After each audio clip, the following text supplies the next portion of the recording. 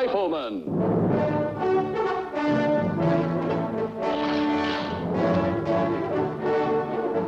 Starring Chuck Connors.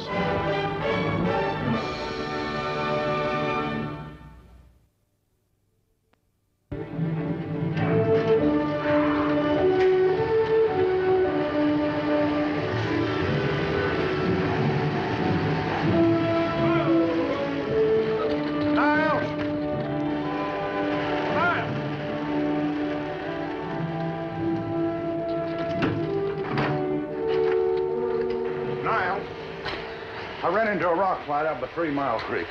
Then a tire and busted a couple of spokes. It's the rear wheel on the left side. How soon can you fix it?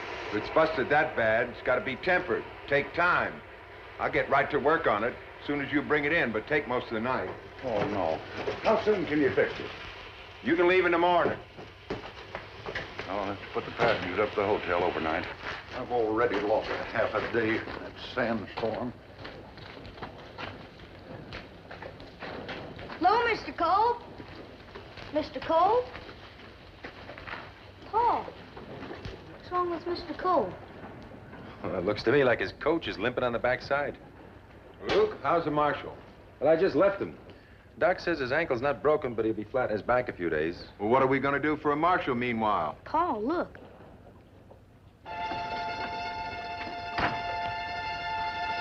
I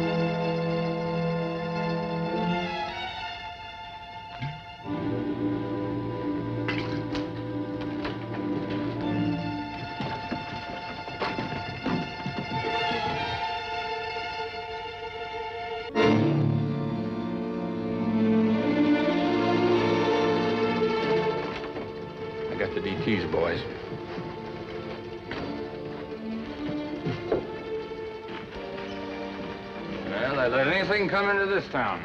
Now, back in Santa Fe, we'd make you wait inside the coach. You're not in Santa Fe now, Grover. Well, who asked you to butt in? I told the marshal I'd take care of things for when he's down. Good luck.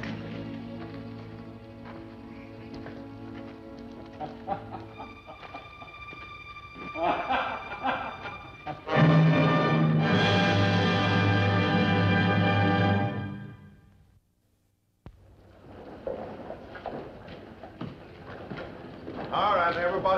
get your rooms. Company's paying for it, so don't kick. Roberta Hunt, room six, upstairs on the left. Patience Hubbard, room seven, upstairs right. Ed Simmons, room eight, upstairs left. John Radley, room nine, upstairs right. Fred Hawkins, room 11, upstairs, straight back. Alfred Fredo Di Marco. Alfredo de Marco Orsini, Conte di Mantova. Allow me.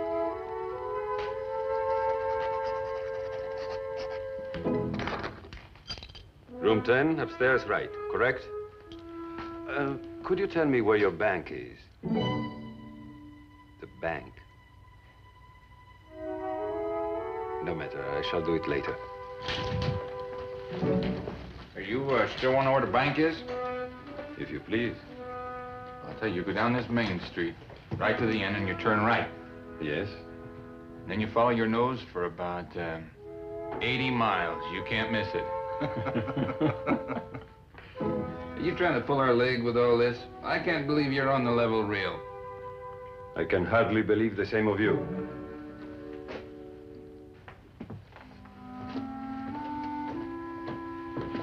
Get some of the boys together. We'll have some fun with this foreign dude. Maybe liven up this jerkwater town. Why do they all treat him that way, Pa?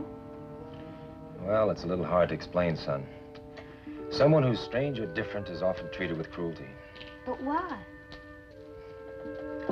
Ignorance, mostly. Sometimes when people don't understand something, they, they think it's to be feared or hated. That's wrong. But it takes a long time to learn differently. Come on, let's eat.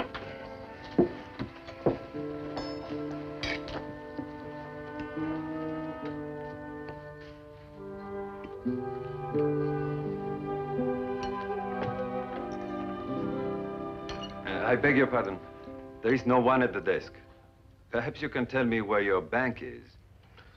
We don't have a bank here. My trip has taken longer than expected. It will be necessary for me to exchange some lira for dollars. Well, the bartender at the Last Chance Saloon. Sometimes he acts as banker when anyone needs one. He sees most of the money that comes through town. Thank you. I shall go there after dining. On second thought, that might not be such a good idea. Going to the saloon, I mean. I'm afraid there are some folks in town who, uh, well, who aren't used to strangers. Like the gentleman I met in the lobby? Thank you for the warning, but I'm not afraid.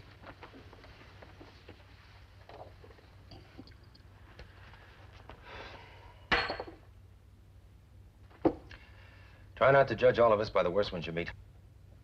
I'm an outsider here. It is not for me to judge at all. This menu is unfamiliar to me. Have you any recommendations?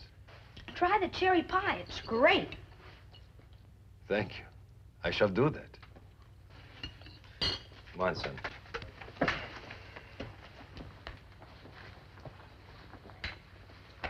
My son would have been almost his age had he lived. You are most fortunate.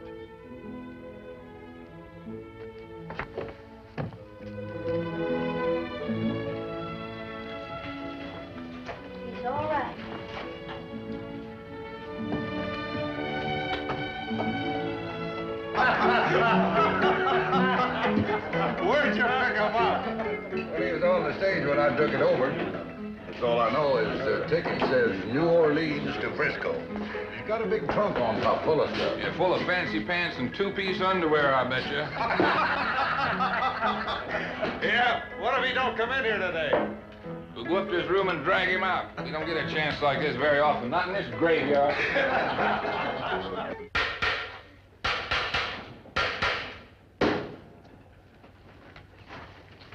How's that wheel coming, Niles? Oh, the iron in the rim's worse than I thought it was. Don't make them the way they used to. Suppose you can't get it out by tonight. I don't think so. Where are you going? Over to the Last Chance for a while? I ought to be there when our friend comes in. You think so? This is our town, too, Mark. When people get mistreated here, it's partly our fault. Besides, I promised Micah. I'll wait here.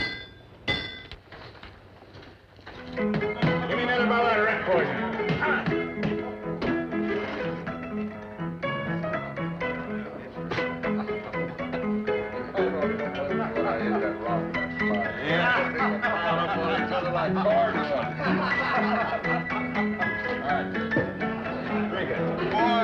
could never get here. A long time between.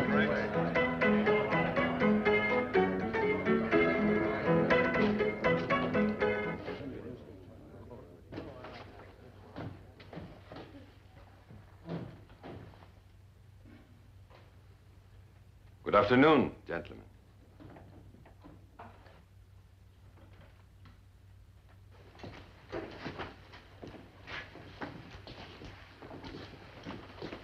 Pernod. Huh? Pernod, the liqueur. Well, mister, this ain't no candy store. It's a saloon. Very well. Whiskey?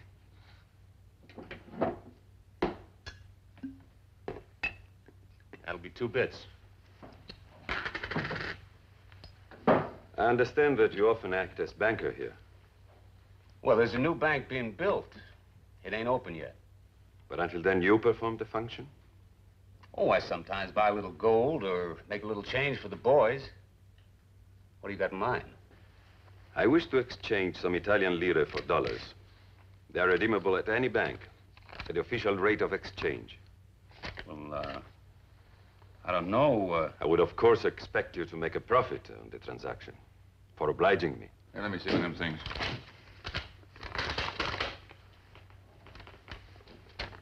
Perhaps you would like to buy the note yourself? No, I buy cattle, not paper. I'd watch out for this guy, Sweeney. He looks like a sharper to me. Might be one of them Philadelphia counterfeiters in disguise. That is a disguise, ain't it? You know, this stuff don't look like money to me. So thin, you could blow your note. That's too bad. Guess it ain't worth gluing back together, is it?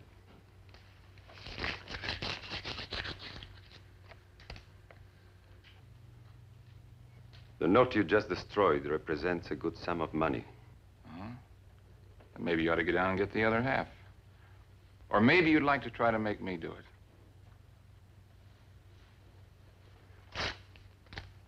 Money's never an adequate excuse for a quarrel. Well, that's real nice of you. That's generous.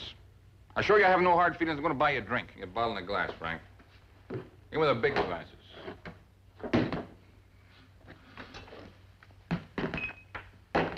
When I buy a man a drink, I buy him a big one.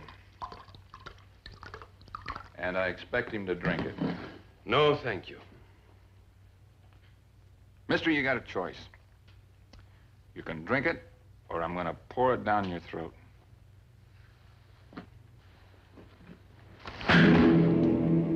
I expect satisfaction on the usual terms. Well, you're going to get satisfaction. Robert! Just thought I'd remind you. This gentleman is unarmed. If you shoot him, it'll be a plain case of murder. Men get hanged for that, Groder. All right. We'll make it legal. Get him a gun, Gilkey. We'll shoot it out. But of course, that is understood.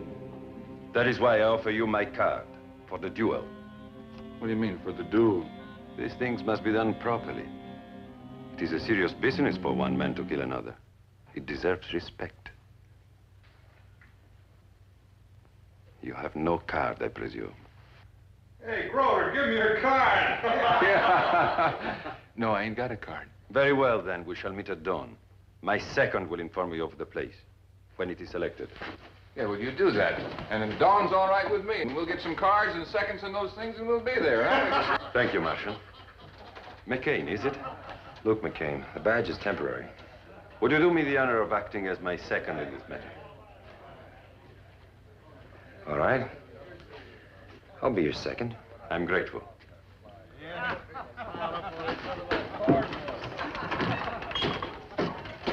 Never turn your back on a man like Groder. That's the first rule around here. I see I chose my second wisely. Where's your son? He's at the blacksmith shop. Shall we go get him? Good. I owe him my thanks as well. Oh? How? The cherry pie was delicious.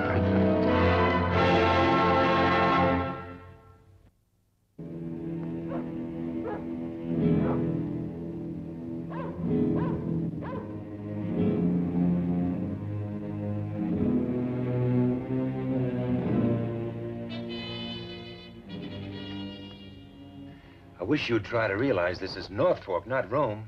Killing is a different matter here. I'm only trying to make you understand what you're letting yourself in for, Count. Please. My American friends call me Freddy. Freddy. All right, Freddy. Look, you're a nice fellow. I don't want to see you get killed. Without you, I would already be dead, back there at the bar. You must allow me to fight my own battle now, in my own way. I'd be glad to. But Groder and his boys won't let you fight your own way. It is one of the duties of a second to see that the rules are observed. You come from a place that has several hundred years of culture and tradition. This town was a raw wilderness ten years ago. Our rules are a lot different than yours. And tougher. You made that point quite clear. No, we don't have many formalities. The man to draw and fire quickest is the one left alive. And Groder has proved he can do just that. Has he? He interests me. You see, I've only traveled in your west for a short time, looking for land to buy. He's a type I've never seen before. Groder's the type none of us would like to see again. Then perhaps I shall do the town a small service. What is his job? Well, he buys cattle for a big outfit out of Santa Fe. He and his boys are waiting for a herd to drive back. And when he's not working? For recreation, he gets drunk, beats people up, wrecks bars, or he picks a quarrel for the pure pleasure of killing a man. Has he done this before? That's right, Freddie. How soon do we leave? Well, it's ten to four. We'll have to leave in an hour. In the meantime, I believe I will follow the example of your son. You too should get some sleep, my friend. You look tired. All right. But I sure wish I knew what kind of a shot you are. Because if you can't back your play, I can still find a way out. Fred? Freddie?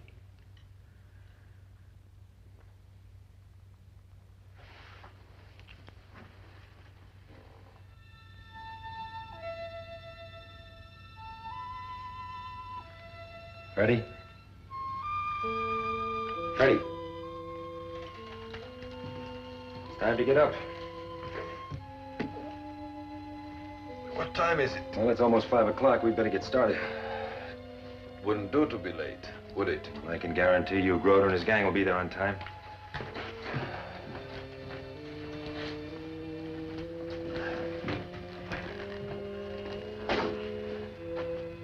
Sleep of the innocent. He's a fine boy.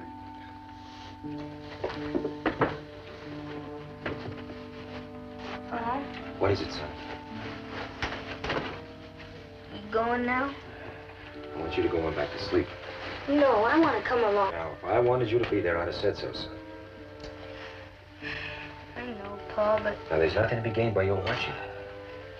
I just hope when you grow up, there'll be other ways of handling men like Groder than using guns. I know the Count will agree with me. I agree, Mark. I'm never proud when I'm forced into using these. All right, I understand. Ready? I'm ready. See you later, son. Good luck, Count. I know you'll win. Thank you. I'll try my best. Bye, Mark. You go back to sleep.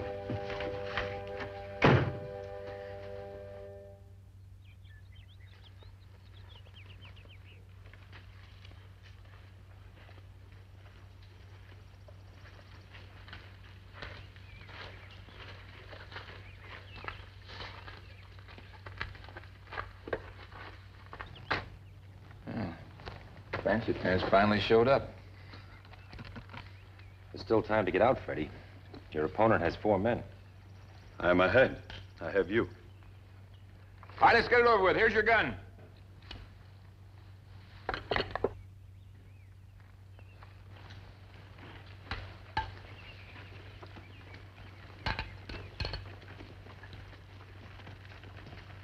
All right, put it on. On the contrary, take yours off. We shall use these. You may choose whichever one you prefer. What are you talking about? I learned the rules last night. Count de Montova is the insulted party. You offended him. That gives him the choice of weapons. And he chooses to use his own dueling pistols. Well, suppose I choose to use my own gun. Well, I'm here to see the rules are carried out. I intend to do just that. I got four men, McCain. You can't win. Neither can you. Because you'll be my first shot, Groder. All right. Looks like I'll have to kill him with his own gun.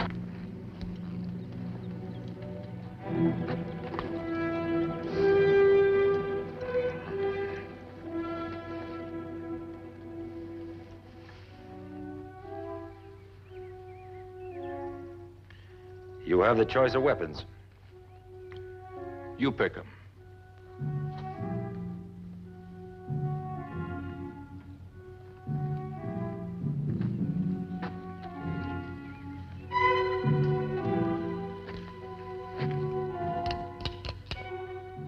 This thing's only got one shot. I've never needed more.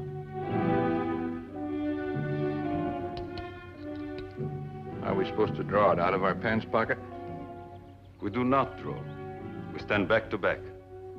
We take ten paces and stop. Turn on ready, aim and fire. Mr. Kolb has agreed to count off the paces. He's unarmed and neutral. Whenever you're ready, boys, we'll stand over here.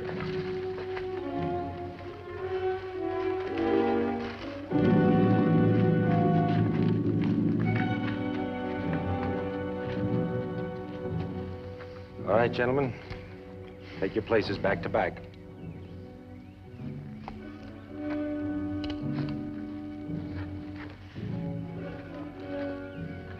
Whenever you're ready.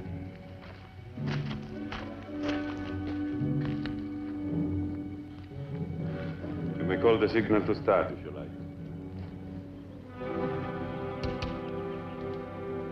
All right, I'm ready. One, two, three, four, five, six, seven, eight, nine, ten.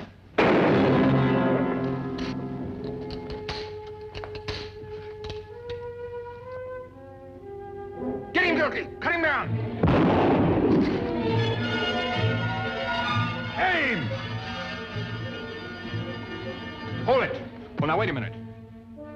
Don't shoot. Don't shoot.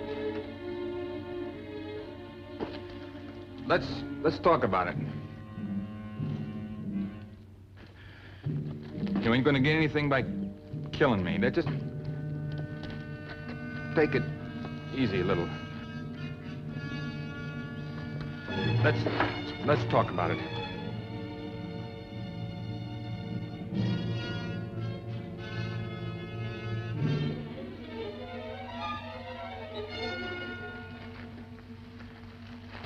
Take it easy. Don't shoot it. The holder of this pistol is entitled to a free shot at this man at 10 paces, at any time he chooses. I entrust this pistol to my friend Lucas McCain, and I urge him to use the shots in it whenever he chooses. But you can't do that. Would you prefer me to take my shot? Well, I ain't never shot one of those before. But to use my guns like I wanted to be a different story. Will someone be good enough to lend me a pistol, please?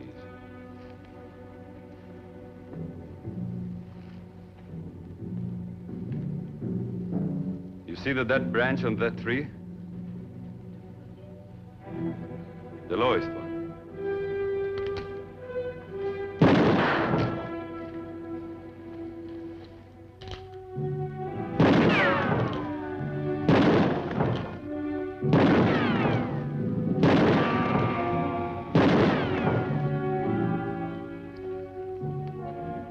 Me to take my shot now? No? Then Mr. McCain will take it for me. It is discretion. Well, thank you very much, Count. And if Mr. Groder is still in my sights in 10 seconds, I think I'll do just that.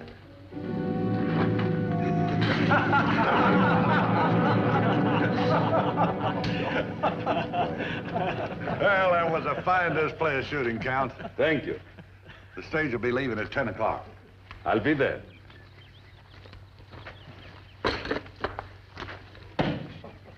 Say, Count, how do you manage one of these things anyway? Shall we go?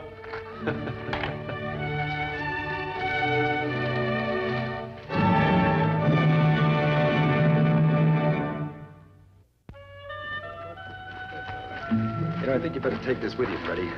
We'll never see Groder around here again. I'm sure you will not. But please, keep the pistol as a sign of my friendship. I owe you more than I can repay. Oh, thank you, Freddie. Arrivederci, my good friend. Goodbye, Freddy. Mark?